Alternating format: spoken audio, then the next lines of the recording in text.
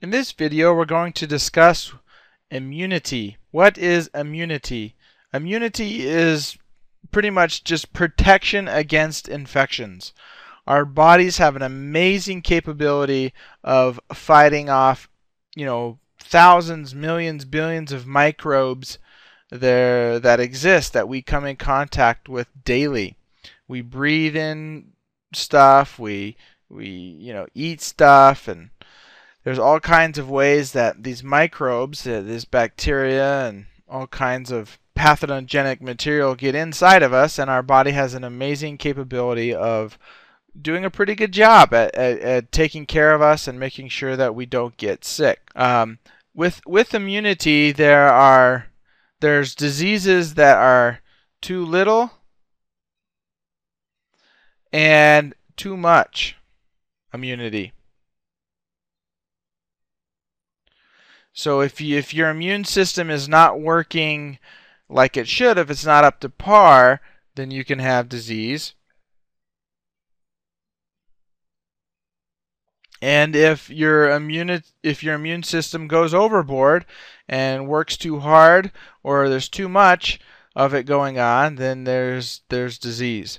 So with the immune system there is kind of this balance of of normal you know, you know, you got to have a balance in here between too little and too much immune response.